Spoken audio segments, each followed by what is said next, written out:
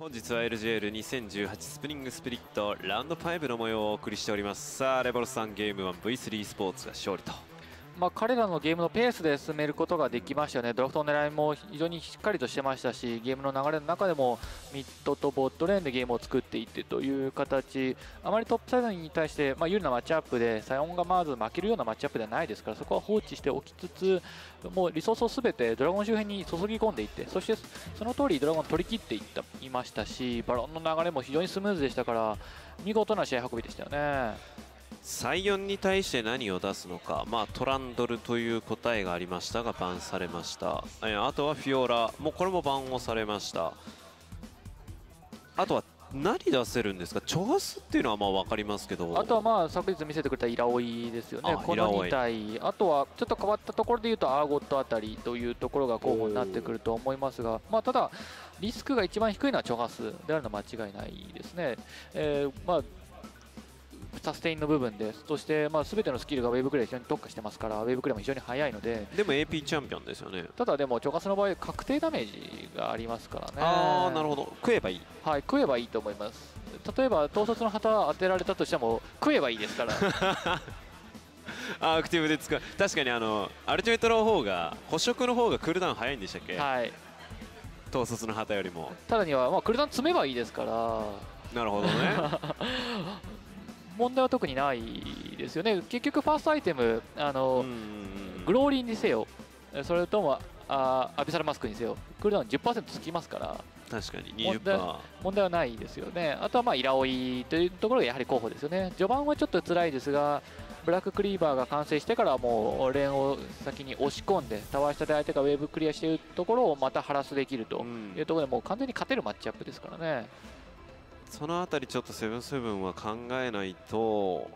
ですよね、魔王会後出しっていうのはトップレーナー一番最後のラストピックに残しておいてっていうのはありますからね。魔王会のピックは多分ですが、まあ、集団戦を行っていくという狙いだったと思うんですがその集団戦も、まあ、自分たちから起こすことは結局なかったですから、ピックとゲーム内での行動というところがちょっと合ってなかったですよね。でも集団戦構成ですか？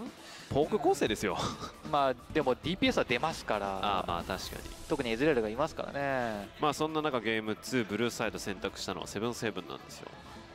まあ、ドラフトといったところを、まあ、修正していく必要性もありますしあとはゲーム内の特にコールの部分ですよね。中盤の時間帯、まあ、というよりも序盤から何を目指してゲームを作っていくのかというところがちょっとはっきりしなかった印象が強いですからドラフトも修正しつつゲームのプランといったところも再度練り直していく必要性があるのかなという感じがしますね。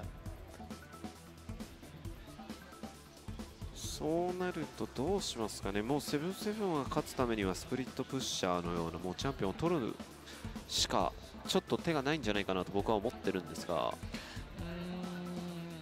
昨日のそのドキンの選手がオリエナを使って、ええ。とミッドの周囲からゲーム作っていって集団戦構成といったところもちょっと機能しませんでしたからね。ラスカジュスタ相手にゲームスリーダー持ってかれてしまいましたから勝てた試合を思い返すとやはりトップレーンのライジン選手のスプリットプッシュですから、まあ、そこを考えて構成を練り直していくというのが実績ある形でもありますからそういった、まあ、ドラフトの形にしていくのではないかなという感じしますね。一方の V3 スポーツはどうしますか、まあ、勝てていますから勝っている戦略、しかもゲームの内容も非常に良かったことを考えると、わざわざ変える必要性はないですよね。そこで、まあ、わざと変えて、えー、ちょっとリズムが狂うというところもちょっと怖いですから、うん、まずは勝てている、まあ、構成、そして戦略といったところをもう一度行っていくということになると思いますね。ただし、その際にちょっと気にかかるのは、イーハイ選手のピックが制限された際にどうなるのか、昨日フォーカスミーにターゲットバン、5チャンピオンターゲットバンされて、はいそれで相当やはり苦しんでましたから、そういったミッドのピックをどうするのかといったところ、あらかじめ何かしら対策というのを練っておいた方が、あこのドラフトにはまあいいのかなという感じしますね。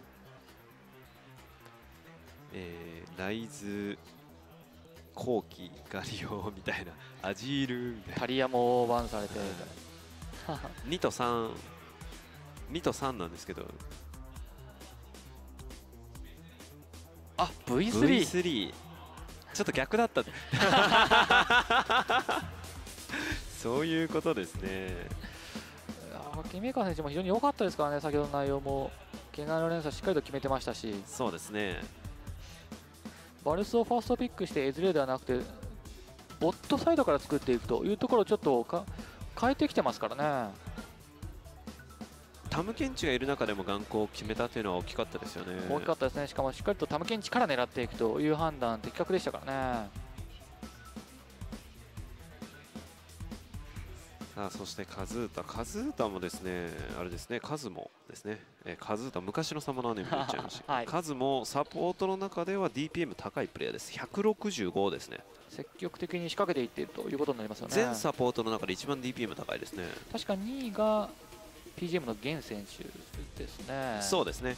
151ですさあそれではドラフトスタートしたので、えー見ていきましょう。ブルーサイドが77レッドサイドが V3e スポーツです。タリアから番がスタートしました。先ほどセブンセブンはレッドサイドでガングプランクやライズバーンしていましたが後期やりましたねついに。これイーハイに対しての全てターゲット版ですよ。そしてこれガングプランク取り上げますかね。ガングプランクであれば採用を当てられても問題ない。問題ないですねということはファーストピックでガングプランク。カミールですねカミール。V3 はブルーサイドでもレッドサイドでもバンの順番そしてバンのチャンピオンも変わってないですね。となるとあとはガリオですか。でもライズじゃないですか。セブンセブンはライズバンでそして V3 がガリオバンという流れが予想できます。あジビ取りませんか。ファーストでライズ狙ってますかガングプランクをバン。さあラストバン。もうガリオが見えてますかね。ほぼ確実にガリオだと思いますが開けるというのもちょっと怖いですよね。そうですね。さあガリオをバンしてファーストピックフェーズです。まあライズだと思いますがそれ以外考えにくい。いやバルスというのはどうですか？いやしかしここまでイーハイ選手へのターゲット版を2つ続けてそのライズまで取り上げないとなるとちょっともったいないと思いますからね。なるほど。その通りになりましたね。さあライズファーストピックそしてバルススカーナーもそうでしょうね。これもこうなりますよね。ただセブンセブンとしてはもうミッドに対してリソースを割いてミッドレーンから作っていくという狙いですからねこれでイーハイがゾーイを使うんじゃないかなってちょっと期待してるんですけどね。ザヤラカン行きますか？行きました。ザヤラカンです。ミッドボットから作っていくという形ですね。さあそしてここ注目です。いやただここブラウムかタムケンチ取っておかないとバンされてしまってボットレーン苦しくなるということも考えられますがミッドを優先しますかね。マルザハールさあゾーイがピックもバンもされないままバンフェーズ2へ。そしてミッドレーンも確定しましたので残っているのはサポートのトップレーンあとはセブンセブンであればジャングラーです。エンゲージのツールジャーバンやセジュアニといったところを V3 どう判断するかですね。まずはただカジックスサベージの得意チャンピオンから消していきます。これでどちらかは取れますねそしてセブンセブンとしては、まあ、ザイラカンのカウンターであるブラウムやタムケンチといったところをバーンしていくと。いうことも考えられますし。ただレーンから仕掛けなければその番をした意味というのもできませんから。ただこの構成で仕掛けないというのもちょっと考えづらいですからね。仕掛けないのがセブンセブンなんですよねただ。ただザヤラカンで昨日は仕掛けていきましたから。あまあ確かに。あアリスター。となるとブラウムかタムケンチは取れますねレベル6とか中盤からじゃあセブンセブンはもう仕掛けていくつもりであると。だと思いますね。ただこれアリスターをバーンしたということは V3 からも仕掛けられたくないということになりますね。一方で V3 としてはパワースパイクの速いアグレッシブなジャングラーというのを潰していきましたね。カジックスそしてジャーバンですただジャーバンを消さなくてもスカーナーは有利を取れるのではというイメージありますけど。ただ昨日のペンタグラムもそうでしたが視界のコントロールをちょっとでも失ってしまうとおジャーバンに仕掛けられてしまうというところで、まあ、視界のコントロールを徹底しきれなかった際のリスクを考えてますね。どちらかというと低レベルにおけるガンクが得意なチャンピオンを潰したと。そうなりそうですね。さあそしてラストバンはブラウムタムケンチは空いています。そしてタムケンチこれでスカーナーとのコンビもできますねセブンセブンとしてはあとはトップとジャングル、まあ、ザック、ジャックスあたりがジャングルの候補になってきます。トップレーンだと、まあ、サイオンを先出ししていくのか。うんザックがいいかなとは個人的に思うんですが。オーンにしますか。ああなるほど。トップがオーンでジャングルは、まあ、ザックだと思いますけどね。ザエラカンそしてオーンといったところでバックラインに対するプレッシャーがザックを加えることでさらに跳ね上がりますがあこの間ティーモの誕生日だったそうっていう話を先週したじゃないですか。ね。ティーモで思い出したんですけど、はい。日本サバオの誕生日もつい最近だったらしいですね。あらしいですね。なんかふって今思いましたあレンガーですね。ジャングルのところにダメージを求めていきましたね。足りないと踏んだんですか？それとも序盤から距離能力を高めていきたいと？まあサベージであればガンク得意のプレイヤーですからさらには前回レンガピックした際にミッドレーンで2キル生み出していくとうん。いう流れありましたからね、そしてラストピックはチョガスです。さあチーム構成が出揃いました。レベル3お互いどのように攻めていきましょ狙いとしてはもう明らかですよね。ミッドからボットにかけて。というのが両チームの狙いですね。トップレーンはだからこそリスクの低いオーンとそしてチョガスというレーンのサステインが高いプッシュも可能なあチャンピオンを選択しましたからね。うただエンゲージという点ではセブンセブンの方が強いんじゃないかなと思いますが。そうですね。レンガーもいますしザヤラカンのコンビですしオーンのアルティメットもありますからね。一方で V3 はエンゲージのツールとしてスカーナーにしろマルザハールにしろバルツにしろレンジがセブンセブンよりも劣りますから相手の仕掛けに対してどう反応していくかもしくはピックアップを狙っていくかというところになりますね。V3 としてはピックアップを狙っていくのが一番リスクが低いですかね。ただですねサプレッションが2枚あるんですよ。そうなんですよね。サッシュは買うにしてももう1回打たれますよ。なかなかないですね。どうします？ネザネザーグラスプサッシュで解除インペール引っ張られたみたいな。いやー最悪なコンビネーションですねしかも今回サイレンスでは2枚ありますねサイレンス。えチョガスとマルザハールと。え結構これリーグオブレジェンドにおける凶悪な CC が揃ってるのが V3 スポーツですよ。汚れの連鎖もありますし。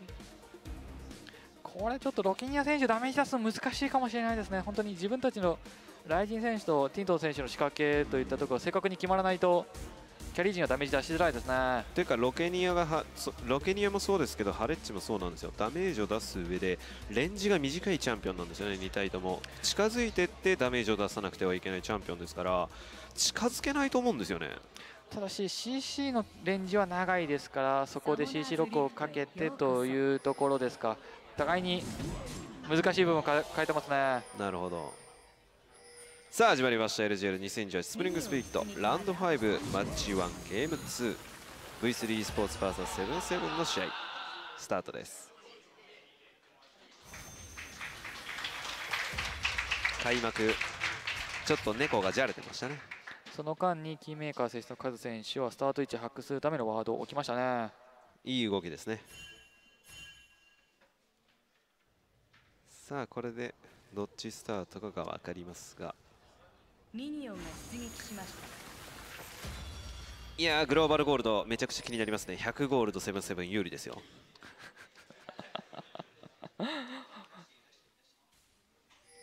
これは気になります。あ出ましたね。えー。530G もすでに稼いでるプレイヤーがいますね。サベッジ稼ぎましたね。2箇所取りました。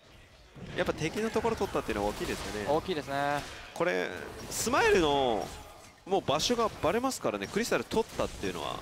一方でえーセブンセブンのジャングルのスタート位置も V2 でしっかりと分かってますからただブルーサイドスタートおっとフルクリアではないですねスマイル選手。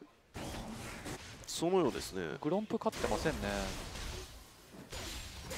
先ほどの試合はフルクリアでファーストリコールでブーツを買うというようなジャングルのルートでしたが変えてますねということはトップレーンに対してもしくはミッドレーンに対して何かアクションを行う。これでバレるんですよ。取らないと攻撃速度が遅いですからスカーナーは。取るしかないですからね。ワードにも。きいやこれ気づきましたね。お叩くがちょっとかぶってましたかね。殴れてませんでしたね。それに対して入っていきますサベージ。レベルは3それに対してレベル2スマイル気づいてない壊せてない。壊そうとしたんでしょうか？それよりもそこでオートアタック一発ロスするもしくは動かすことでクリアスピード遅れるというところを警戒しましたがね？ただこれでサベージ選手はカウンタージャングル成功させましたね。ただスマイルこれフルクリアやっていたらサベージ間に合ってましたから。いい判断でしたね。さあグロンプがあるいやグロンプじゃないですね。クルーグがありますがクルーグはスカーナで取るのは難しい。とボットサイドティントン選手とパレッツ選手連のコントロールを取ってこのクルーグが狩るようなスマイル選手の動きというのを警戒しましたね。いやスマイト使わせましたよ。1匹目のスカトルにスマイト使いたくないですよね。使いたくないですね。なんといっても、まあ、スカーナーはいいのスタン発動させることができればスカトルの AR と MR 下げられるので彼の速度相当上げられますからね。これサベージの回り方が上回ったと言えますかね。ここをまずジャングルクリップ1つ分確実に上回ってますね。さらにはこれクルーグまで？いやただこれさすがに勝ち合いますよ。勝ち合いますね。いやただトップレーンに眼光すればそのタイミングでライジンしっかり仕掛けている刻々の体力を減らしているここにサベージノックアップは綺麗に避けてスローからフラッシュはありますがフラッシュイン追撃。ファーストブラッドはサベージ。サベイ選手のジャングルのルートといったのが VC 全体的に把握できてませんでしたね。これはスマイルに個人技のジャングルのルートで上回りさらにはガンクも決めて完璧じゃないですか。完璧ですね。しかもレベル6前ですからねサベイ選手リプレイです。しかもこのトップガンクを決めて CS 育分化したというところもあって今度とレベル5になってますから6レベルアルティメット確保するのがまた早くなりますね。あとスタックもたまりましたからね。攻撃力伸びていきますよ。かなりまあ1スタック2スタックといったところは低いですがスタック3スタックあたりになってくると目に見えてダメージ伸びてきますからね7%とか増えますからね。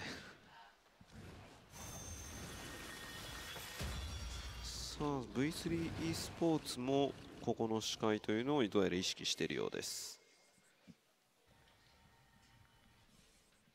ただティントンまだ現在レベル4ザヤラカンというコンビレベル6からといえば6からですが最近やはりこう低レベルでザヤラカンでレベル1もしくはレベル2の仕掛けというのはあまり起きなくなりましたよね。そうですねなぜなんでしょうね。とスマイトで取りましたがとんでもないダメージだ。なんとかスタンを入れてスマイルは逃げますがいやスティールはできましたけどねしかし次のクリープウルフでこれはサベ選手レベル6になりますかね？ーなると思いますよ。となるとガンクプレッシャーまた高まりますね。そうですね。なりますね。これまたファーストアイテムあれですよね。ダスクブレード。なると思いますね。さあレベル6メラウはフラッシュの落ちている刻々選手ですよね。警戒はしていますが狩猟本能を打つかさあカジシンの呼び声刻々狙いフラッシュはないイ!ージーガンクサベージのガンクが決まります。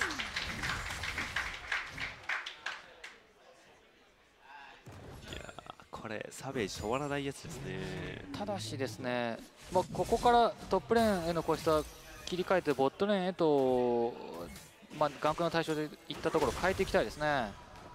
V3 がボットレーンのウェブのコントロール取り返してますからね。そうなんですよね。やはり V3 ミッドからボットにかけての視界のコントロールでゲームのテンポを取り返していくそういったチームでもありますからここは崩していかないと。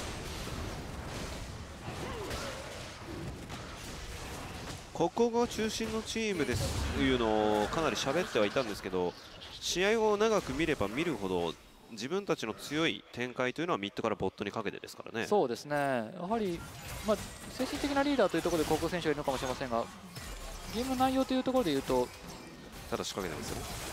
数はフラッシュがありますが反転する反転する反転する。狙いにいったティントンがイグナイト入っているフラッシュインから。ただここは飲み込むことはできなかった。そしてテレポートどのよ。うカウンターセブンセブンここにロケニア。ポータルワープがある汚れのレーサーもう打った後止めることはできません。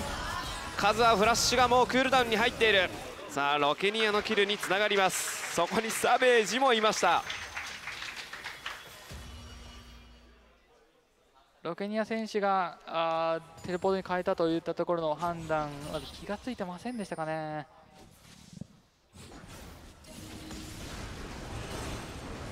いいハイとただやはり合ってないですねそうですね、ここもイハイ選手、ボトルに寄れるようなタイミングで仕掛けてるわけではないですからね。なぜ反転したんでしょうねうん味方のジャングラーとミッドレーンはブルーバーかかってるタイミングでしたからね。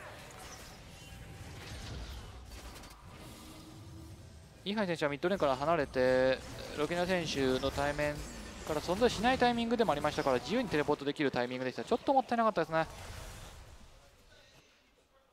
いつ仕掛けるのかそしていつ引くのかというのはしっかりチームで共有しなければいけませんさあそしてロケニアに1キルですからこれでインハイを抑えることに成功できるかどうかですがサッシュはまだ勝っていない。トップサイドに寄ってますね。寄ってますね。さあ国語を育てるような動き。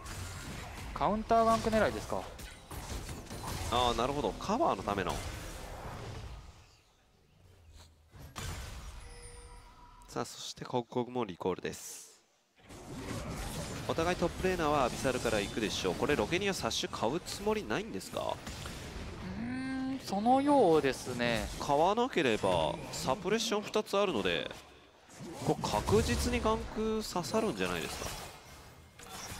サイレンスもありますからね。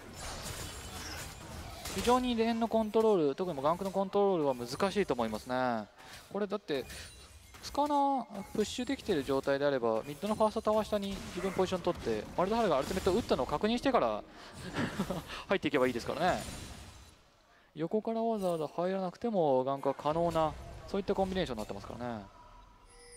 ネザーグルスプ打ってる間に体出してインペールで間に合いますからねただ、スマイル選手はちょっとジャングルのクリアというところで、サベイ選手に対して、あサベイ選手からかなりプレッシャーを受けているので、靴ではなくて、死んだハルクの完成を先に急ぎましたね。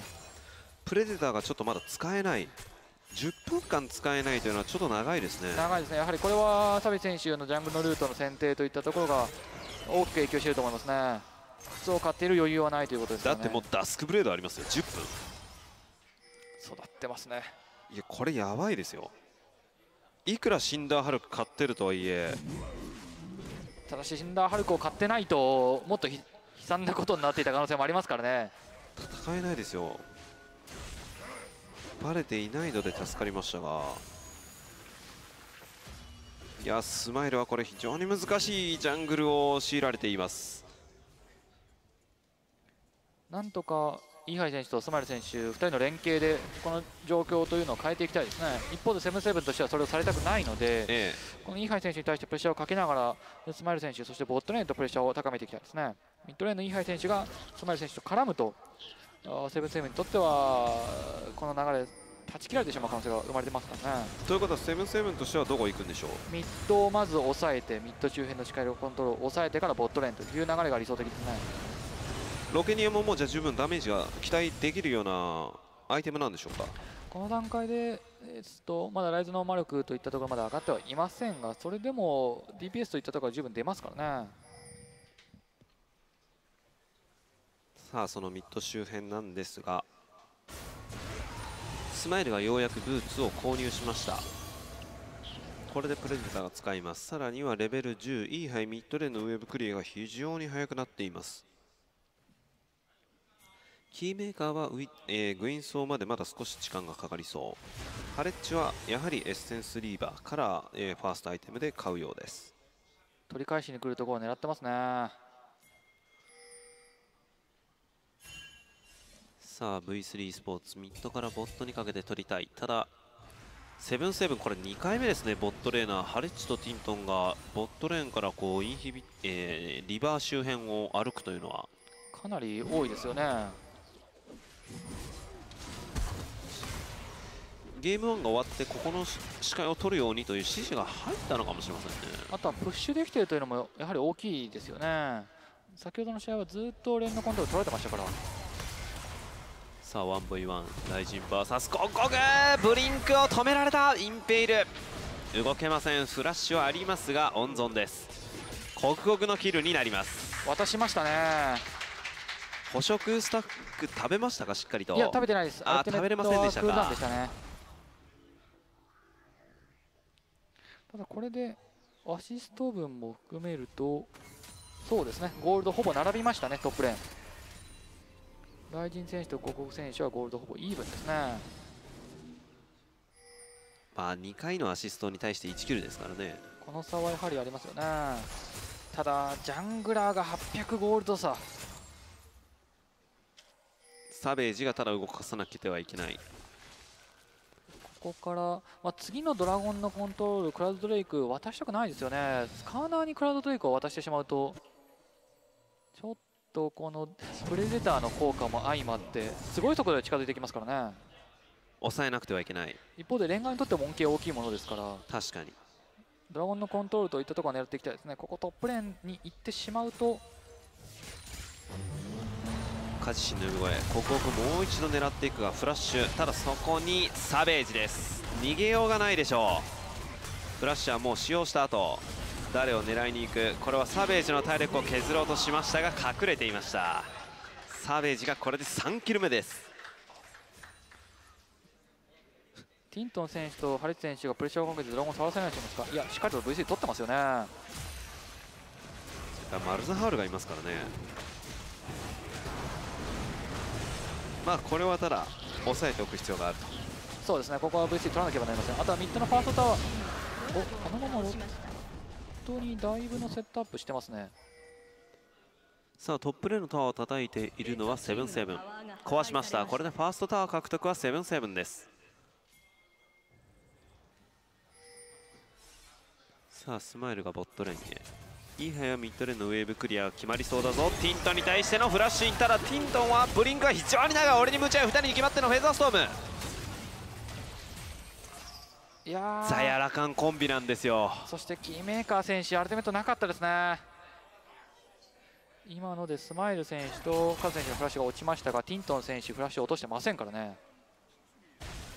うーんこれハレッチに打つのはどうだったんでしょう？それでよかったと思いますけどねフェザえーんアルティメットで回避するされてしまうというのを警戒したんですかね。あとは、まあ、インペイルのトタイミングでカズ選手がオートアタックを繰り返してスタンコンボで、えー CC ロックをかけてそこで一気に倒していきたかったということだと思いますね。ああなるほど。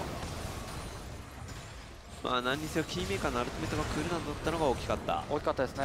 しっかりとイーハイ選手がミッドレーンに体を出してそこでハレッチ選手とティンテン選手を安心させてからのボットガンクだったのでセットアップとしては非常にうまかったんですが。さあゲーム時間15分。もうそろそろ16分になろうかとしていますがボットレーンの主導権はお互い欲しがっていてもどちらも譲っていない。ただラストヒットでは大きく勝っているのがキーメーカーです。グインソーも完成しましたね。一方でハレッツ選手のザヤのエッセンスリバーも完成しました。ただ忍者旅履いているところを見ると今殴り合うとキーメーカーの方が勝ちますね。勝ちそうかなという印象がありますけれども。これテレポートから狙ってますねイーハイ選手。さあスマイルが行く。触ってるのは分かっている。テレポートはこの位置です。さあそしてターゲットを切らさないようにしながら。いやキーメーカー選手もやってますよこれあ取れますね。取れますか？リフトヘラルド。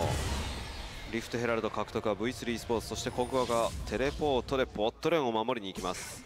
これローテーション変えていいですかね？このタイミング。ドラゴンないですから。なるほど。えそうなるとこれ V3 スポーツとしてはかなりスムーズな。スムーズでしたね。たださすがにキーメーカー一度リコールしてますよ。ただそれでもヘラルドを渡さずに済んだというのは大きいですねもうこれでいいと。はい十分だと思いますね。テレポート2枚使ってしまったことによってここからトップのタワーを狙いに行くという動き V3 まずできないのでローテーション戻しましたね。後方にタワーがない中でダブルテレポートがダウンしているという中だとトップに仕掛けられた際、えー、キンメーカー選手とカズ選手がトップレーンにいるときに仕掛けられた際に何も反応できませんからね。その仕掛けられた際ということは仕掛けなくてはいけないわけですよねこの状況ですらセブンセブン今テレポートのアドバンテージ持ってますから生かしていきたいですね。でも生かすの難しいんですよね。どうやって生かすか。ここまではサベージが全てのキルに絡んでいる。サベージが動かすのか。それともティントンなのか。エンゲージの強力なラカンというチャンピオンを使用しています。サッシュも買いましたから。そうですね。ボットサイドに対して入っていく可能性非常に高いですよ。サベ選手2つ目ヨウムですからね。これモビリあこれ不仲説ですね。そのようですね。ええ。一緒に変えれる。あれねちょっと面白いのが右クリックじゃ変えれないんですよね。リコールしないといけないんですよね。そうなんですよ。リコールボタンを押さリコえたらールボタンを押さないとあれに乗れないんですよね結構最初の使ってみないとわからないんですけど移動ボタンしたら一緒に乗れるやろうと思ったら乗れないんですよ。いやこれはホワイトデーの日何も返ってこないやつでしょうね。スイートラカンスキンでしたから。さあインファーナルドレイクまで残り1分30秒です。まあ何かしなくてはいけないというセブンセブンにとってみれば最高のタイミングのバロンになるあドラゴンになるんじゃないですか？狙いやすいですからねそしてそこの視界を取りに行きます。ゲーム1ではここはうまくいきませんでしたからしっかり修正していきたいところです。ドラゴン周辺の視界は取りました。スマイル選手としてはせっかく取ったヘラルド有効活用したいところですができる場所がちょっと見つからないですね。どこのレーンもウェーブクリアは早いですからね。削れているタワーはないんですかね。一応ミッドとボットともにそこそこ削れてはいますが。いやでも5割以下のタワーはないですね。さあそしてボットレーン。そうですね5割以下のタワーないですね。ボットレーンほとんど削れていませんしセブンセブンは、えートップレーンのタワーも削れてませんしミッドレーンが少しだけですか？となるとまあミッドレーンですかね。あ半分削れてますね。となるとミッド狙いやすいですがただどうしますかね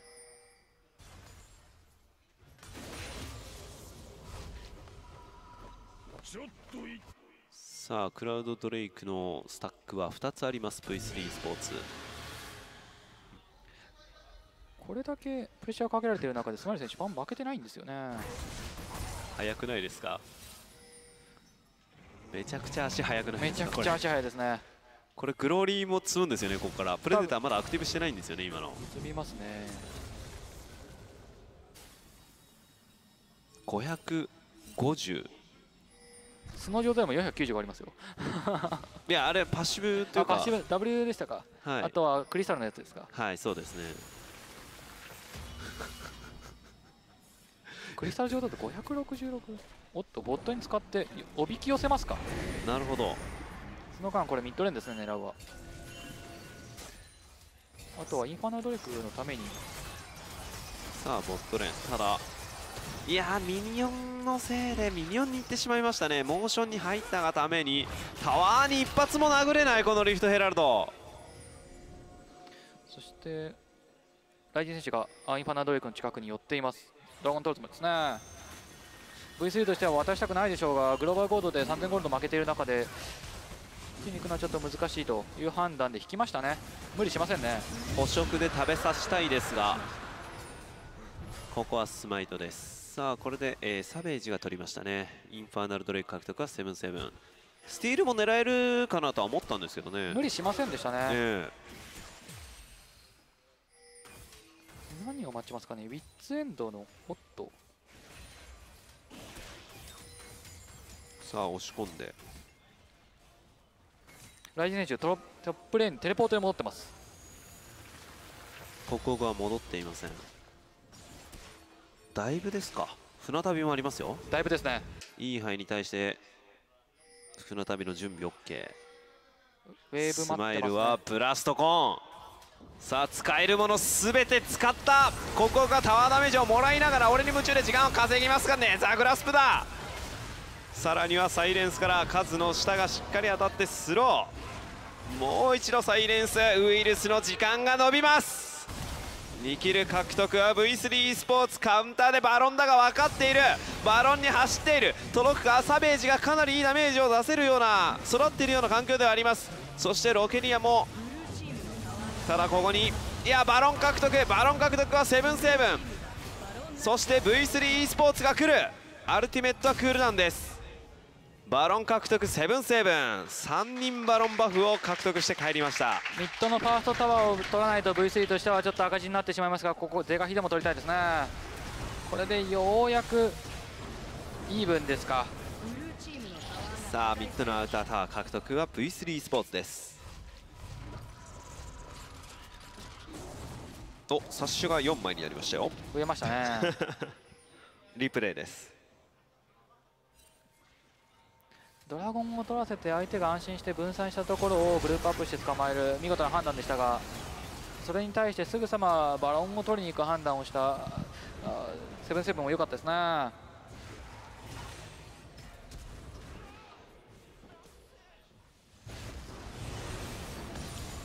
さあこれでバロンバフ。うんどっちがこの後の展開でということにまあまあなるんでしょうけど。タワー取らなければ意味ないですよね。そうですね。タワー一つでも取ればセブンセブンとしては有利だと思いますね。ミッドのファーストタワーを取れれば非常に大きいと思いますね。ミッドですか？ボットレーンのタワーも欲しいかなと思ってるんですけど。ミッドからボットにかけてやはり多分ファーストタワー全て欲しいですよね。取れるとサベ選手のジャングルのプレッシャーといったところまた高まりますし。ボットレーナーの2人に入ってないのがどれだけ影響するかですよねド狙ってますね。さあミッドレーン。ライジンも寄っています。それに対して刻々も寄った。鍛冶神の呼び声。ん？ミニオンウェーブがなくなったタイミングの鍛冶神の呼び声。いやしかも相手のミニオンウェーブに使えませんか？いやこれはちょっと合わなかったですよね。サベ選手がアルティメットをキャストしてましたからジャングル内にいる V3 に対して狙っていったということかもしれませんがおっとこれああなるほどどうしました？いやこれだとちょっとあとブルーバフのスティールといったところもできませんでしたからね。ちょっと噛み合ってないですかね。うまくいってないですね。そしてボットを狙っていますがイーハイ選手がカバーに入っています。しかしさすがに3人でプレッシャーかけてますから取れますね。ティントンも横からプレッシャーを作っていました。これでタワーに殴れます。V3 スポーツはタワーのプライオリティをミッドレーンに定めてましたね。ミッドのファーストを確実に守るというふうにグループアップしてましたね。さあこれでタワー差はなくなりました。グローバルゴールド3000ゴールド勝っているのはセブンスヘブンです。ミッドレーンはただ絶対を渡さないってことですよねこれ。そうなりますね。ただこの3000ゴールド差なんですが実は、はい。ほぼサベッチ選手が作ってるんです。対面のジャングラーつまりスマイル選手のゴールド差が2500ゴールド。キャリー陣のゴールドを見るとほぼ並んでるんですよね。はい。つまりどういうことだってことなサベッチんですが選手が動かさないとダメなんですよね。もし彼が倒されてしまうとセブンセブンとしては苦しくなってきますね。うーん。一番彼がゴールドを持っているわけですから。そして装備もキャリーできる装備になっています。でも一人で動かそうにもサッシュは持ってますけれどもスカーナーマルズハールいますよ。ですから狙う対象としてはそこは非常に難しい中でですかだからこそトップへのガンク以外でキルが生まれてないんですよね。タムケンチもいますし。そして次のインファーナルドレイク。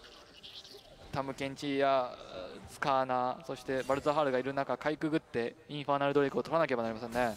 V3 としてはゴール差離れてますが戦えるというふうになりますからね。これカジックスだったらまだわかりますよ。レンガってステルスアルティメット1回ですよ。そうなんですよね。一応ま一応スタック溜まった時の W の CC 無効化というところも非常に強いですが。姿は晒してますからね。どこから来るかっていうのはしかもカモフラージュですからね。チャンスは1回ですから、プレッシャーをかけて剥がしてますね、え。ーミッドレーン狙いましたがここもいけません。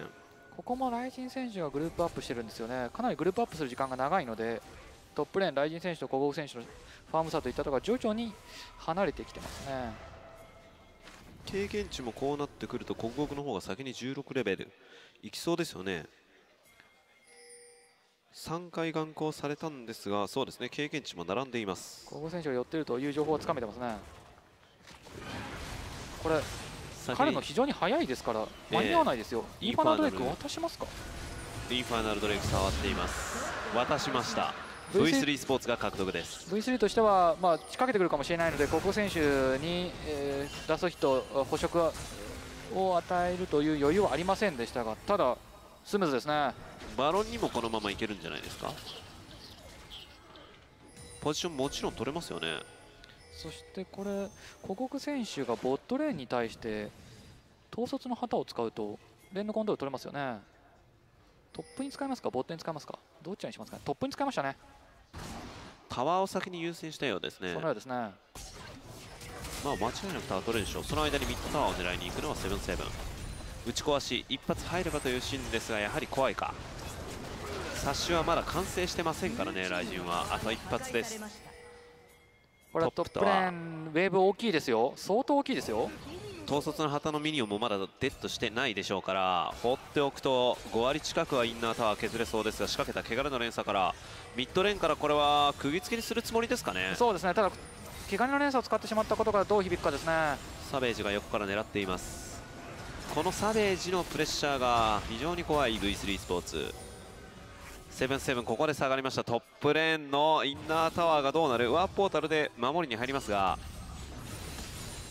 そうですね5割近く削れそうでしたがここはロケニアが守っています。これロキニア選手が言ってなければ本当に半分削れてましたね、ええ。あの5割って言って5割だったのが良かったです。う んほっとしました。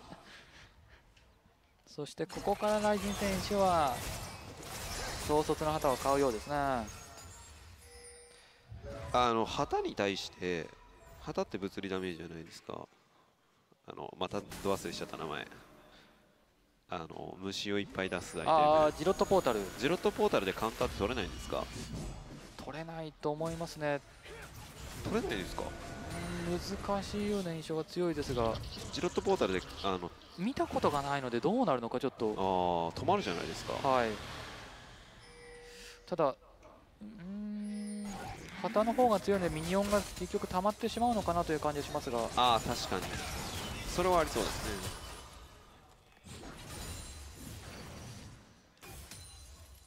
さあミッドレーンのアウター V3e スポーツはこの有利をさらに広げていかなくてはいけませんがやはりこのアウタータワーがある限りサベージがこう強気にエンゲージをするようなポジションを取れないですから取れなねいですね。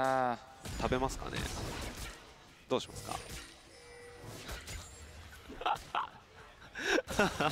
シュールですね。シュールですね。食べなさそうですね。集団戦を考えてさらに6スタックということは途中キルであったり大きなオブジェクトに対してアルティメット使ってなかったですからフルスタックミニオン全て使ってましたね。残り体力わずかですからミッドのファーストは取れますね。さあこれで破壊しました。アウタータワー3本ずつです。さあ30分を超えています。イーハイはトップレーンをプッシュしていました。セブンセブンはバロン周辺触っても非常に速いチーム構成ではあります。イーハイ選手にブルーバフを渡したいところですが。遠いですねただ。ね。さあ鍛冶神の呼び声狙うのはキーメーカーでしょうか。いや違います。イーハイに対して打ちました。そしてカズに対して打ったようでそこに穢れの連鎖で返していきます。ライジンはブリンクアウト。スマイルも狙っていますが届くか？イーハイはゴーストを使用している。一旦何も起きず。さあバロン周辺に一度ったのは V3 スポーツです。おっとちょっとこれボーパルスパイクでバロンが起きましたがコグは非常に硬いので問題なさそう。ティントンが視界を取るのが難しいということでサーベージが狩猟本能で視界を取りに行きます。この間ミッドセカンドターンまで押せてますからねセブンセブン。取っては取られ取っては取られラプチャーのノックアップ。2人に入っている。さあミッドレーンの CG に切り替えました。そしてイーハイはトップレーンまたしても押しました。バロンラッシュですね V3 バロンに触りましたトリンケットワードは置いています。セブンスヘブンはこの情報を持っている。さあバロン戦です反転かそれとも継続かただ継続するのであれば捕食とスマイトで一気に取ることができる鍛冶神の呼び声を呼んだ。カジが、えー、カズが守る中さあバロン獲得は V3 スポーツただこの後の集団戦が重要だ。まずはイーハイやストップウォッチ。時間を稼いでティントは俺に夢中です。走り抜けている。ダメージを出しているのはハレッチだ。フェザーストームでもう一度。ダブルキルはハレッチ。これで3キル獲得はセブンセブンです。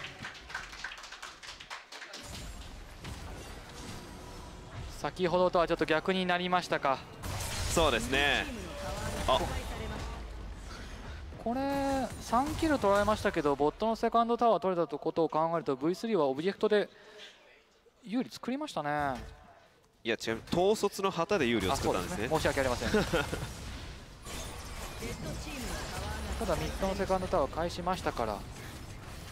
まあこれでイーブンですよね。そうなりますね。そしてティントン選手 G コンバージェンスを買いましたねより先ほどのエンゲージがもっと強力になっていくということですね。リプレイです。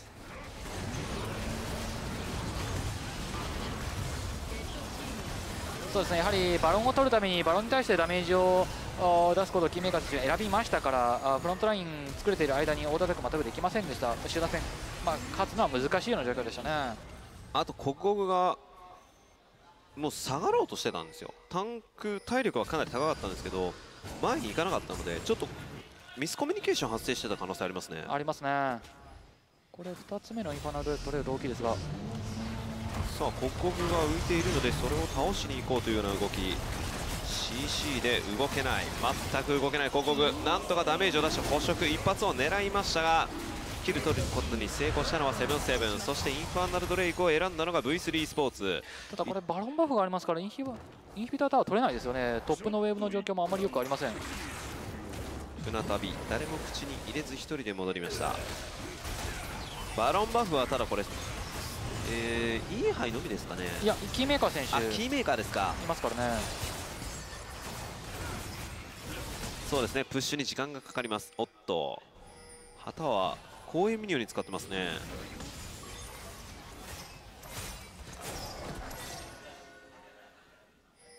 それに対して雷神も旗は使用はしていますが。うん諦めました。CG は諦めました。セブンセブン。狙ってますね。サイドレーンのコントロールを取ることが優先です。さあそしてクラウドドレイクが2スタックですからねたださすがにここにエンゲージしても合わせられないと思いますが。近くにイーハイ選手はいましたが。ウェーブクリアしましたからね。そうですね。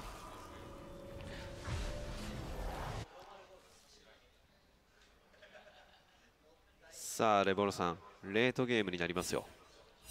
こうなると、まあ、集団戦の形といったところ両チームのエンゲージ CC を持っているプレイヤーが鍵になってきますね先ほどからやはり集団戦でライジン選手のオーンのアルティメットがかなりイーハイ選手やキーメーカー選手に対してプレッシャーかかってますから、まあ、そこをしっかりと生かしていけるかどうか。一方で V3 としてはそのアルティメットをかわしてまあ、インファーナルドレイク2つの力を生かしてイーハイ選手とキーメーカー選手がダメージを出せるかどうかですね。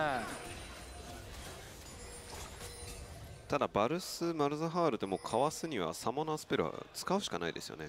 そしてキーメーカー選手フラッシュないですからね。ただ1人であればカズ選手が助けられますからね。ああなるほど。2人食らうのだけはやめた方がいいということですね、はい、サベージがステルスを生かして入っていきます。このステルスもインビジブルにしてほしいと使っているプレイヤーを持ってるでしょうね。いやこれモータルリマインダー買ってますか。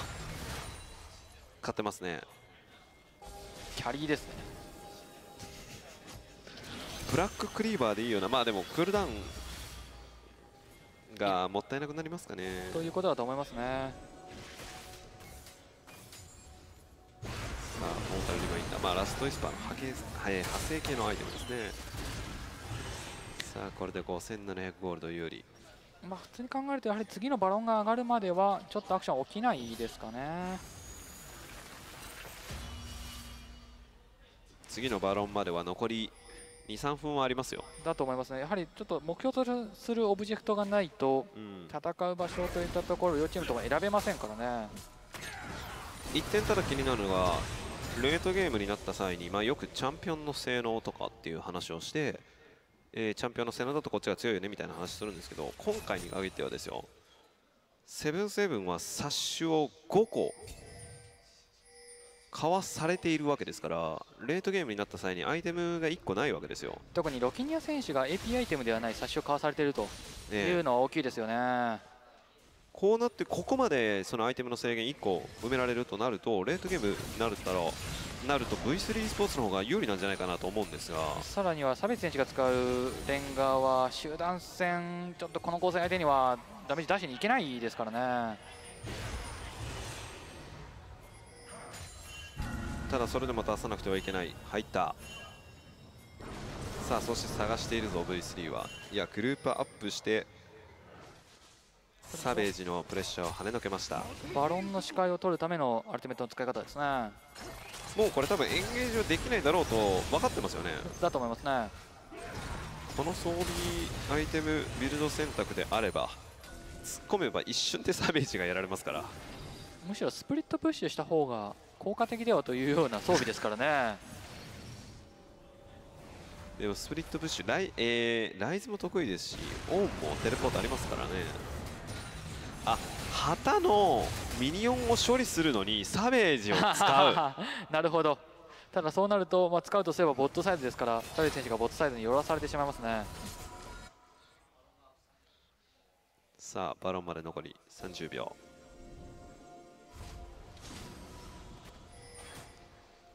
大きな集団戦になりますが重要なプレイヤそうですね。セブンセブンは、まあ、育っているサベチ選手が集団戦で活躍できるのかどうか。一方 V3 としてはこのタイミングになっていいはあキーメーカー選手が王権完成させましたからこの4冠を持っているバルスを使う彼の動きが、まあ、集団戦の鍵になっていくと思いますね。ーさあバロンは上がりましたエルダードラゴンもあと30秒で上がります。うーんエルダーでもいいですね確かに。クラウドドレイク2スタックマン、えーインファーナル2つですから。価値は高いですね V3 にとって。スカナの移動速度がもっと上がるわけですよね。まずはミッドの押し引きです。コントロールワードをレーンに置いています。どちらを狙うかピンの状況を見るとエルダーに対してピンは鳴らしてましたけどね。ただし動きはバロンですか。もしくは味方に言ったのかもしれないです上がるよとうん。ここで判断難しいですよね。さあトップレーンの上もちょっと気になるでしょう。ブラストとちょっとは ちょっとヒヤッとしましたね今。これ焦ってエルダーそうですね。エルダー狙ってますね。いやただ触ってはいませんがロケニアが見えました。そこに勝ち忍ぶ声スマイルを狙いに行くような動きになるでしょうがカズが助けています。さあそこにロケニアがダメージを出しに行きますがうまくエンゲージは決まりませんでした。セブンセブン。これでオンのアルティメットがなくなりましたね。この間は V3 チャンスです。セブンセブンとしてはどうするか。ブルートリンケットでエルダーを取っていることが分かりましたエルダーとバロンを交換しますか？いやセブンセブンの方がかなり早く取れました。エルダードラゴン獲得はセブンセブン。バロンバフ獲得は V3 スポーツです。これでコグコグ選手のアルティメットのスタックは8になりましたね。しかしちょっとディフェンシブなアイテムとしては統率の旗と騎士の誓いを買ってますからちょっとタンクとしては心もとないですね。さらにはサッシュまで購入してますからね。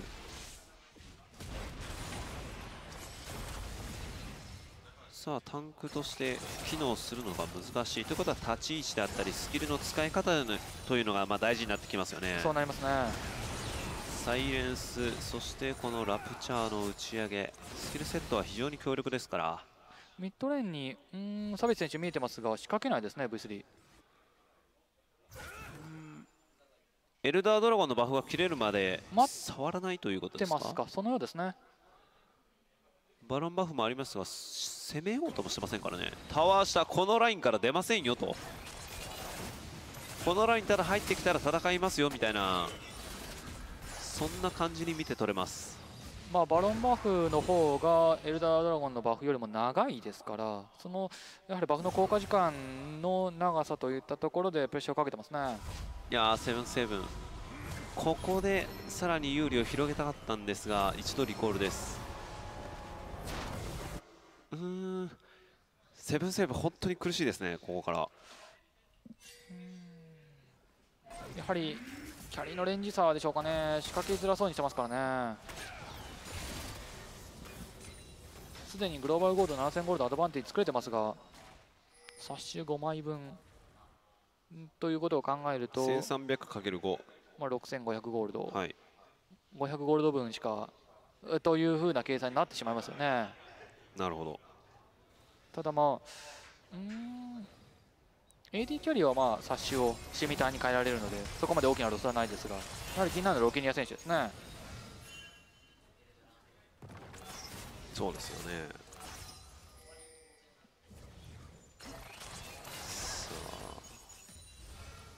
トレーンまだエルダードラゴンのバフは続いています。あシミター買ってますよロケニア選手。まあ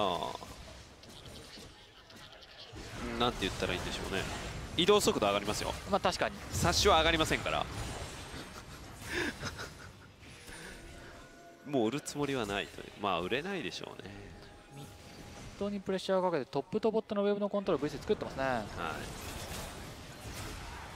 さあエルダードラゴンのバフが切れましたがそこでエンゲージサベージの位置が気になりますが素晴らしいダメージで AOE ダメージがしっかり入ってる。そこでダメージ入りました捕食一瞬でサベージ解けた。そしてスマイルにフォーカスを浴びせている。さあ11のトレードからその状況から勝っていくのはこれはセブンセブン。ロケニアしっかりダメージを出していました。ハレッチは体力マックス。ライジンが一度前へ出ますがここはキーメーカーしっかり回答はできていました。さあそれでもハレッチのこれはダブルダガーによって1キル取りました。3-2のトレード。さあそこからワープポートで前に出ていきますがサイレンスフェザーストームで返してからのスネア。キーメーダーダメージ！足りなかったロケニアシールドがありました。そして忘れていたかのようにセラフのシールドもアクティブしていました。さあこれで4-3という、えートレードになっています。キャリーが生き残ったのはセブンセブンです。ただしオブジェクトを取ったのは V3 スポーツキーメーカーかなり悔しそうな表情をしてましたね。勝てたシーンでしたからね勝てましたか？勝てましたね。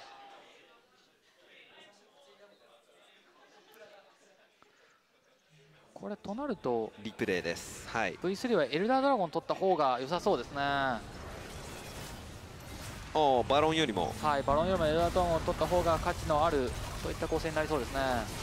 しっかりとカズ選手がイーハイ選手を助けてそして後方孤立したキーメーカー選手に対して入っていったんですがやはり集団戦となるとレンがこの時間帯苦しいですね。や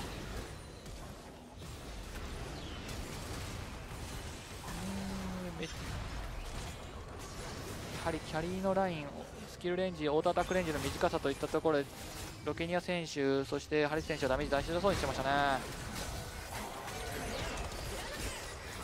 あー先に来れる。ザヤをフォーカスしていれば。そうでしたねラカンオートアタック2回入ってましたね。多分ハリケーンの範囲ダメージで倒せましたからね。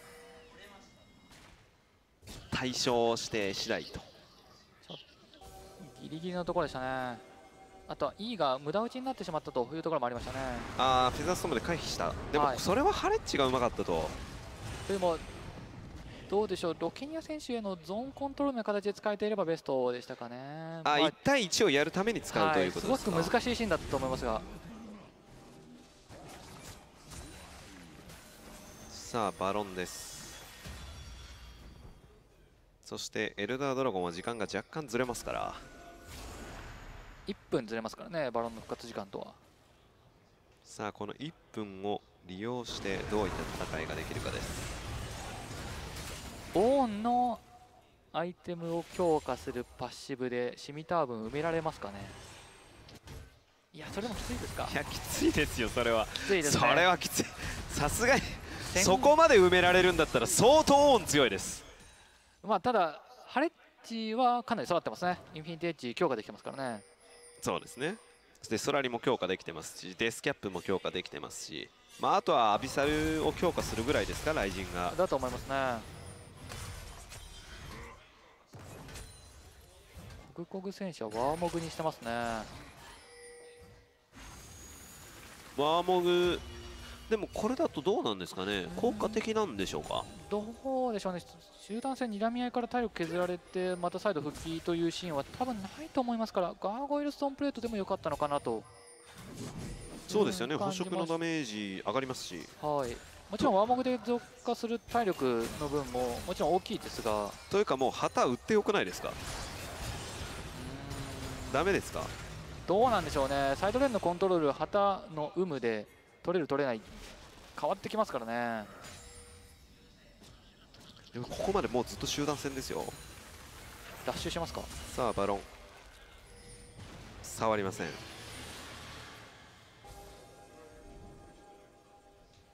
さあ48分。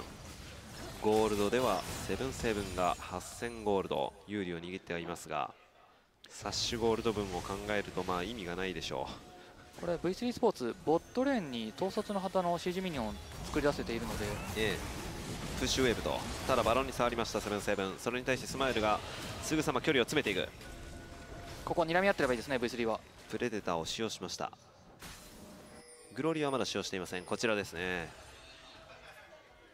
それに対して雷神は旗はクールダウン上がっているので打ちに行かなくてはいけませんが打ちに行く場所がないですね。そうですね。隙がないというべきでしょうかね。刻々こういったところでしっかりとアイテム使っていっています。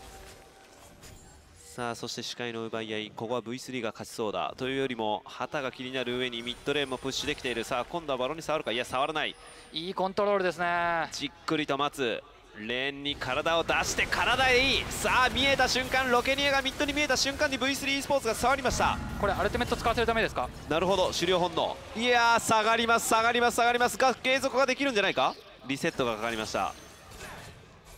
トップもプッシュウェーブになっています。ボットレーンのインヒビタ待ってればいい。なんて冷静。そしてスカトルはしっかり V3 スポーツが獲得しています1分間1分間このスカトルのエリアは残ります。移動速度アップ。さらには視界が取れる。今度トップレーン。ああ これはあれですね。チョガスじゃないですね。忍者ですーね。忍者ですね。いやー見事ななんでしょうスニークコマンドですかね。さあただバロンピット内にコントロールワードがありませんから触っているかどうかというのはセブンセブンは確認できます。いや待ってればいいですからね本当に V3 は。さあトップレーンのインヒビターへ ミニオンが行くのを待っているだけ。大量のミニオンが。セブンセブンはエンゲージしなくてはいけません。しましたね。さあしびれを切らした雷神ただ1ナイス人しかノックアップしていないさらにここが3人に当ててインペールスネアサイレンス雷神なんとか離脱成功。そこに俺に夢中。サーベージが狙っている。サーベージ狙っている。まだ隠れている。飛び込めるかイーハイに対して。いやタワーが壊れた。タワーが壊れた。前に出た。それを聞いてアナウンスを聞いて V3 は前に出た。セブンセブンまだいけない。マヤいやーサベージは奥に行けなかった。防衛しなくてはいけません。帰らせたくない。さらにフラッシュイン。サイレンスこれは冊子を使用してフラッシュアウトです素晴らしいコントロールです。これバロンが取れればパーフェクトですね。さあ雷神が守りに入りましたがテレポートがあります。反転をしそうだがいやこれはゾーニングしてバロン獲得はこれは V3 スポーツです。見事なコントロールですよ。統率の旗売らなくて正解でしたね。ええ私が熱かったですね。いやただ使い方うまかったですね。いやうまかったですね。そしてチームとしての使い方も見事でしたねこれが統率の旗の使い方なんですね。トップのインヒビターあとわずかですよ。さあエルダードラゴンまで触ります。これが取れるとなると V3 スポーツはもう勝利と。セブンセブン絶対に取らせたくないですね。取らせてしまったら終わりですね。終わりですよね。スティールしなくてはいけませんよサベージ。なんとかして坂地の呼び声。そして取りに行った。取りに行った。取ったハレッジが取ったチームを救った上に1キルが拾えそうだ。いやー30でしたね。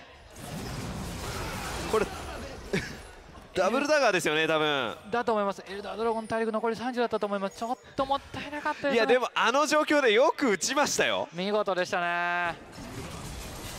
集団戦をしに行くかそれともスティールを判断するのか非常に難しいシーンだったと思いますからね。さあそのままこれはインナータワー5対4の上にサポートタムケンチがいませんから数がいませんからね。ただこれ以上はいけないか。いけないようですね。あと30秒カズ選手が復活するまで我慢できるかどうかですね。オーンのアルティメットは上がります。上がってからが仕掛けておきですね。そこを成功させるかどうかが鍵ですね。白本の国王がもうキーメーカーの隣にいます。そしてさあカジシの呼び声。キーメーカーを狙いに行く。その間にインヒビタータワー破壊。ラプチャー。2人は打ち上がりましたがハレッチはステップでしっかり避けています。インヒビターを破壊してセブンセブン下がります。エルダードラゴンのスティールで返しましたセブンセブン。V3 としては本当に爪がちょっと甘かったですね。あそこ取れていれば。おいや10スタック。10スタックです。これマックススタックですねこれ以上姿は大きくなりませんが最大 HP はまだまだ伸びていきます、えー体力がですね5370ですね。とんでもないですね。いやもうこれだからやっぱデッドマンズプレート買いましょうよ。ガーゴイルストーンプレートできるとアルティメットのダメージこれ。あそうですね。ガーゴイルストーンプレートですね。サビツ選手ガーディアンエンジェル買ってますけど、まあ、買っておいてよかったですね。吹っ飛びますね。そうですね。吹っ飛びますねの状況でも1000ダメージ与えますか？そうですね。えー、そうですね。約1000ダメージです。確定ダメージで。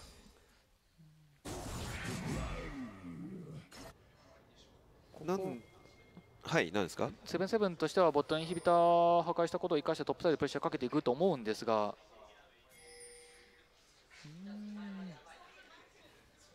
先ほどから集団戦勝ちきれてないですからね。セブンセブン。そうなんですよね。大臣選手のアルティメットが生命線になっているわけですがその生命線がやはりカズ選手が使うタムケンチによって崩されてしまってますからね。3人とかに当たればまあなんとかということですけど1人2人だと。そうですね。さらにはした。マルタハルのパッシブといったところ1回目の、まあ、手前に来る最中に剥がしておかないとというところなんですがバンシーも変えてますからね。さあボットのインヒビターからつなげてトップのインナータワー。55分に差し掛かろうとしています。デートゲームです AD キャリーがどれだけダメージを出すかの、まあ、勝負になりそうですよ。なりそうですね。ただまあやはり次のバロンであったりエルダードラゴンですかね。またしても。あもうそこまでまた動きませんか？ここでセブンセブンサイドがバロンを取ってるんであればバロンバフを生かしてインヒビタータワーに対してプレッシャーかけていくでしょうが今見ても分かる通りそういった無理な動きしてませんからね。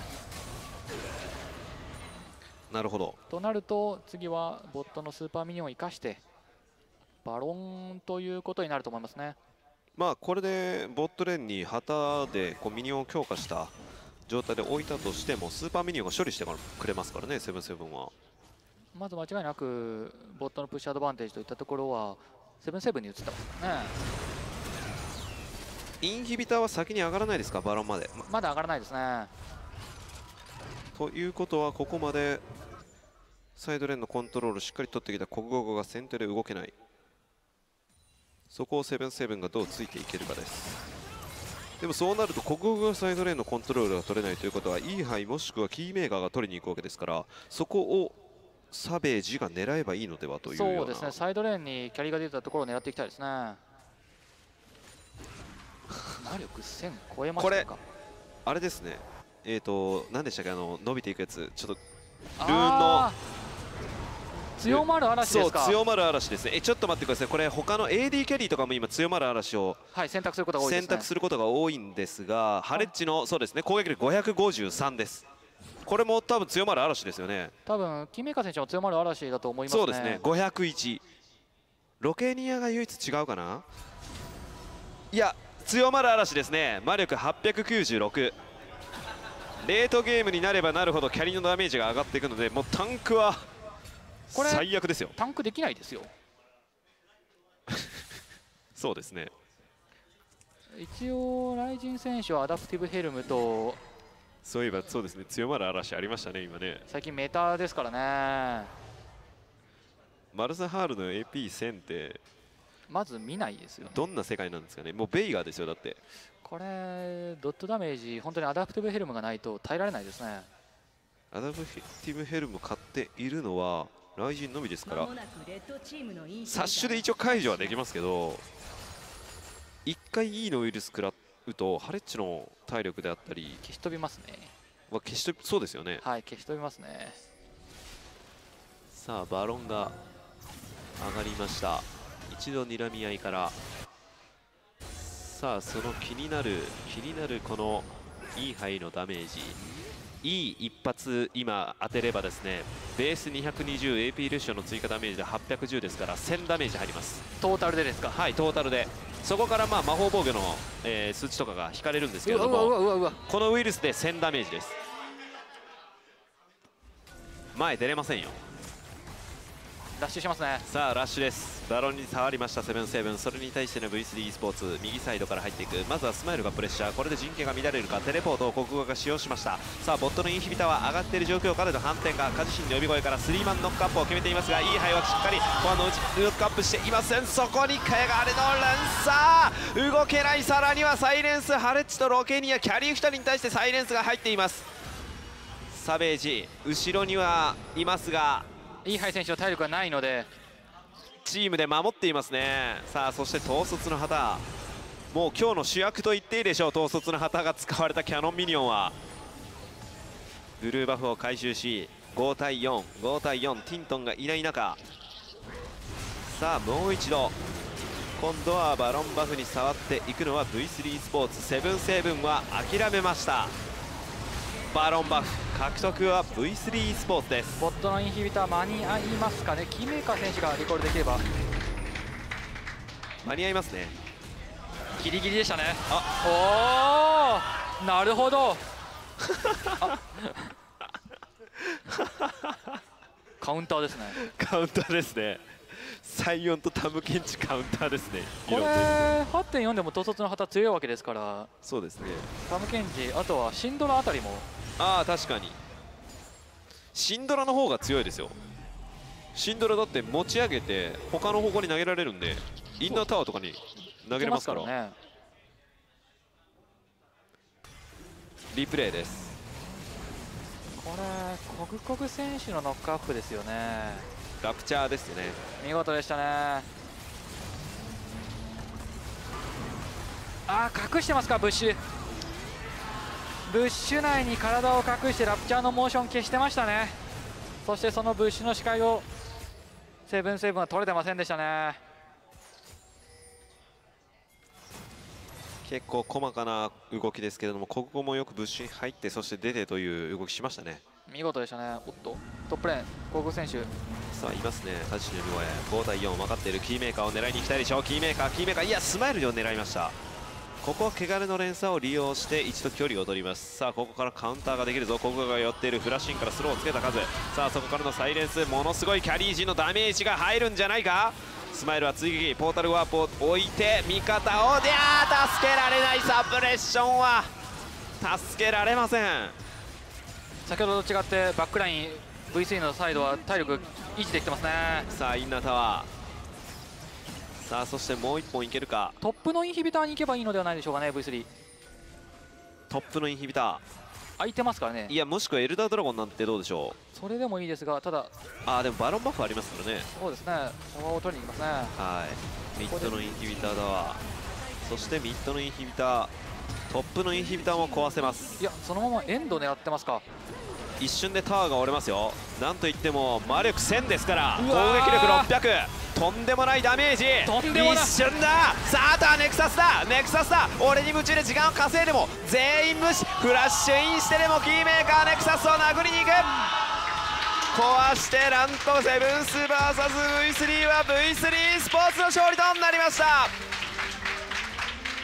いやー序盤からセブンセブンがサベッジ選手のガンクからゲームのコントロールを取っていたんですけどオブジェクト周りの判断が本当に的確でしたね。常にセカンドドラゴンインファーナルドラゴン相手に渡してそして相手が分散したところを捕まえていく判断だとかあとはバロン周りでの統率の旗を生かした見事なマップコントロール。唯一スマイトのミスでインそのエルダードラゴンを取れませんでしたけど本当にそれその点だけでしたからね。いやでもそうですね。強まる嵐の存在本当忘れてましたけどこうなるんですね。レイトゲームになると大体そうですね。30分から40分まあ40分を超えるともう強力なルーになりますからね。今ちょっと調べたんですよ。はい。今一番最後の、えー、イーハイの魔力がですね1200だったんですね 1208あもうキャリーにかすったらキャリーはもう体力半分消し飛ぶ以外ない。で、ね。E, e のウイルスをパッと置くと総ダメージが1180なんですよ。でこれどれぐらい大きいかというとですねチョガスのアルティメットが、えー確定ダメージで1081なんです。いやーとんでもないダメージでしたね。いやただ V3 スポーツちょっとあれですね CS から上がってきたチームとは思えないぐらいにオブジェクト周りが強いですね。本当に強いですね。そして集団戦のキャリーラインがかなりダメージ出してますしチームと私しての特徴しっかりと出出てますね。あの LJL 史上初です。私は初めて見ました。チャレンジャーシリーズから一部に上ってきてマッチをそのラウン、えーそのマッチを2つもう取ったんですよ。しかも前半戦ですからね。2つ取ったっていうチームはいないですね。しかも2-0ストレート。はい。さあそれでは勝利した V3e スポーツより、えープレイヤー・オブ・ザ・マッチを決めていただきたいと思います、えーこの選手だろうと思う、えー選手のハッシュタグをつけてぜひ皆様、えー投票してみてください。レボルさん難しいですね。難しいですね。ただやはり先日はターゲットバンされて潰されてしまいましたが今日の試合だとイーハイ選手が特にミッドからボットにかけての視界のコントロールプレッシャーといったところで特に後期1戦目の後期でうん。凄まじい活躍見せてましたからあとはまあ2戦目だとやはり強まる嵐思い出させてくれたというところでイーハイ選手を僕は挙げたいですね。カメラワンよく気づきましたね。僕ら全く気づいてなかったですからねましたねあいつさんはどうですか？いや難しいんですけどね。スマイル選手も良かったですしね。そうですね。難しいんですよね。うーん。うーん。うーん。まあでももキーメーカーですかね。ボットラインあの負けてないんですよまずそうなんですよね。CS 常に勝ってましたし、はい、これ、ハレッジ、ティントンコンビって LGL の一部で戦ってたという点で、そこに対応ができているということと、あと、毛柄の連鎖がやっぱりうまかったですね。要所要所で決まっていて、ダメージもしっかり出しているんで、まあ、勝てただろうっていうそのビッグプレーのところは勝てませんでしたけど、リプレイです。ここのところちょっと判断ずれてましたかね。高校選手確かに下がってますね。そうなんですよ、これ、スマイルはでも言ってるんですよ。味方のピールのためにやったのか。しかしすでに W の再燃使った後でしたからね。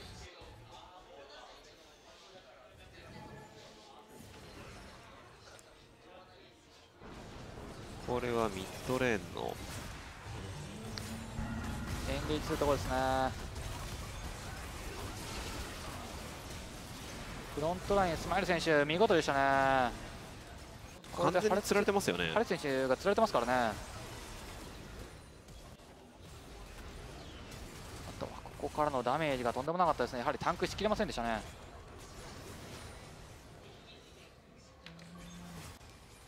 あとはこのシーン難しかったと思いますが。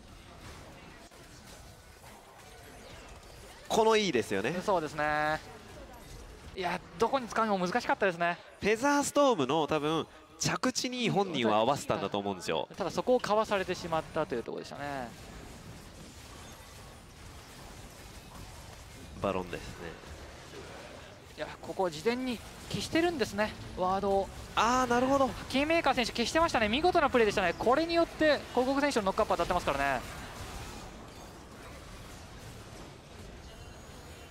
はいはいはい。よく消してましたね。でもその間時間稼いでたのはスマイルでしたね。見事でしたね。いや集団戦の形すごくしっかりとしてましたね。スマイル選手がラップ、えーまあ、プレッシャーをかけて、えーその間に陣形を整えていってというところで役割分担はっきりしてましたからね。あのスマイルに強力な CC を持ったジャングラーをジャングルを渡してはいけないのかもしれませんこれ V3 スポーツはほ僕の印象だと国国がフロントラインを張るんだと思ってたんです。そこをスマイルとイーハイが荒らすんだろうなと思ってたらこれメインタッグがスマイルです。そうですよね。サブタンクが国国ですよ。でも広告選手が何度もできるようにチームの、まあ、形を整えているような感じがすね今の動きだと広告選手はもちろんチョガスでもいいですけど例えば他のチャンピオンでも良さそうですからね。なるほど。さあそれではプレーオブザマッチの結果出たようです、えーインタビュアーのカンツリオンさんお願いいたしますはいそれでは見事勝利した V3 スポーツからコグコグ選手にインタビューを行っていきたいと思います。さあコグ選手まずはラウンド5勝利という形で収めました。今のお気持ちいかがですか？そうですね、えっと、折り返すまでに2勝できて、なんとかほっとしているというか、まだ次にプレーオフにつながる勝利ができたと思います。結構そのなんて言うんでしょう、まあ、落ち着いて今の結果を受け止めていらっしゃいますが、まあ、現状チャレンジャーシリーズから上がってきてここまで、まあ、折り返して2、3という結果かなりいい結果だと思うんですけど自分たちは結構、まあ、落ち着いて捉えてるんですか？そうですね、最初の1周目と2周目、結構自分たちの思い通りにできなくて、えーえー不甲斐ない試合というか、まあ、悔し負けてしまったので、まあ、それを考えたらポジティブな、えースコアだなのかなと思います。なるほど落ち着いては受け止めてますが、まあ、むしろもっと自分たちはやれるんだということですね。なるほどその上で、まあ、今日かなり話にも出てたんですけどオブジェクト周りの、まあ、動きであったりとかかなりこう自分たちの勝ち方っていうのが分かってきたのかなっていうのを感じるんですがそのあたりどうですか？そうですね結構コーチの方がそういうのをメインで教えてくれててで練習もそれを主体に練習しているのでできるようになってきたのかなって思います。なるほど。そしてプレーについてですが特にゲーム2あのラカンのアルティメットを止めたチャースの9あれは狙って打ったんですか？いやーたまたまですね。ある程度予測した上で打つとまあ当たったという感じですかね。なるほど。それでは後半戦に向かっての意気込みを最後にカメラにそして会場の皆さんに向かってお聞きできればと思います。はいえー、っと そうですね、まあ、もうちょっと面白い見てて面白いような試合ができるように頑張りますのでもしよろしければ応援よろしくお願いします。えー自分のポテンシャルにどこまでも貪欲な高校選手のインタビューでした。それでは実況席にお返しいたします。インタビュアーの勝根さんありがとうございました。いや十分面白かったですけどね。ーあのーマップコントロールのところめちゃくちゃ興奮してましたよね。いやただやはりそういった練習の成果出てるんだなという感じがしますよね、まあ、コーチがマクロを中心に練習組み立てている。そしてそれ実践している。それが勝利につながっているというところで非常にいいサイクルで LJ に臨めてるんだなというのが分かるインタビューでもありましたね。はい。いやーただこれで2勝うーん初戦のね勝利というのはここが感動しましたけど俺たちはまだいけるんだみたいな感じになってますからちょっと後半戦になってきた際。しかもプレーオフにつながる勝利ってそうです、言ってましたからね狙ってるということですよね上位進出3位、え上位3位を、えラスカルジェスターを倒すと。そのようですね。いうことですよね、今の3位、現状の3位、また今日で動くかもしれませんけれども、ただこれで下の、まあ、混沌の3チームから1つうん、V2 が抜け出したというところは大きいですよね。ちょっと予想外ですね、セブンセブン。ちょっとやっぱスタイルがちょっとチームのスタイルといったところが。大体前半戦がこう悩んでるけど何か作ろうとしててうまくいかないっていうケースが多い中で過去こういったチーム初というか何をしていいかわからないよっていう状況にちょっとなりつつあるっていうのは。しかも石を上げているしっかりと勝っているにもかかわらずこう週を重ねるごとにチームの形といったところがあやふやになっていくというような状況ですからね。どうにかして後半戦に向けて立て直していきたいところですよね。そうですね。さあそれでは以上をもちまして LGL2010 スプリングスピットラウンド5のマッチ1が、終了となります、え V3 スポーツ VS、えー、セブンセブンは V3e スポーツの勝利となりました。続きまして、え LGL2018 スプリングスピリットラウンド5のマッチ2ラスカルデスター VS ペンタグラムの試合の模様を17時10分17時10分より放送開始予定で、えーお送りいたします。それでは皆様、えー後ほどお会いいたしましょ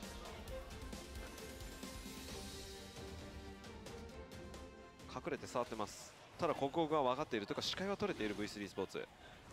ジャングラーはサベージはどこだ？サベージがいないとサベージがいないといやスマイルが美味しくいただくんじゃないか。さあそこにロケニアいや取ったやってしまったというべきかセブンセブン。ただ1キルは獲得です。ハレッチのキルになります。さあ旗がある。旗がある。いや刻々タワー虫一瞬一瞬一瞬。さあそしてエンゲージか数は一度ヘッドバット時間を稼ぐような動きになっていますセブンセブン全体的に前へ。ロケニアがスキルを狙っています。イーハイはただずっとダメージを出している。グレイシェルプリズン汚れの連鎖さあ第一の捕獲だ。どっちが集団戦でうまくやったかと思ったら V3 スポーツの方がうまくやっている。サメージにまずはフォーカス。イーハイが1キル。さあそしてアプレッションインペールによってライジンこれは動けない。身動きが全く取れない。ハレッチはそれでもずっと殴っている。殴っているけどフロントラインが硬いのは V3 スポーツだ。ロケニアのマラナの方が先につきそうです。もう一度スイープバブル。ただ全体いやキーメーカーが前に出る。イーハイが前に出る。スキルは俺が受けてやると。言わんばかりのポジション。バロンに触りました。トリンケットワードは置いています。セブンセブンはこの情報を持っている。さあバロン戦です。反転かそれとも継続かただ継続するのであれば捕食とスマイトで一気に取ることができるカジシンの呼び声を呼んだ。カジが、えー、カズが守る中さあバロン獲得は V3 スポーツ。ただこの後の集団戦が重要だ。まずはイーハイやストップウォッチ。時間を稼いでティントは俺に夢中です。走り抜けている。ダメージを出しているのはハレッチだ。フェザーストームでもう一度。ダブルキルはハレッチこれで3キル獲得はセブンセブンです。さあエルダードラゴンのバフが切れましたがそこでエンゲージサベージの位置が気になりますが素晴らしいダメージで AOE ダメージがしっかり入っている。そこでダメージ入りました捕食一瞬でサベージ解けた。そしてスマイルにフォーカスを浴びせている。さあ11のトレードからその状況から勝っていくのはこれはセブンセブン。ロケニアしっかりダメージを出していました。ハレッチは体力マックス。ライジンが一度前へ出ますがここはキーメーカーしっかり回答はできていました。さあそれでもハレッチのこれはダブルダガーによって1キル取りました。3-2のトレード。さあそこからワープポートで前に出ていきますがサイレンスフェザーストームで返してからのスネア。キーメーカーあーダメージ。足りなかったロケニアシールドがありました。一瞬でタワーが折れますよ。なんといっても魔力1000ですから攻撃力600とんでもないダメージ。とんでもな。い一瞬だ。さああとはネクサスだ。ネクサスだ。俺に夢中で時間を稼いでも全員無視。フラッシュインしてでもキーメーカーネクサスを殴りに行く壊してなんとセブンス VSV3 は V3 スポーツの勝利となりました。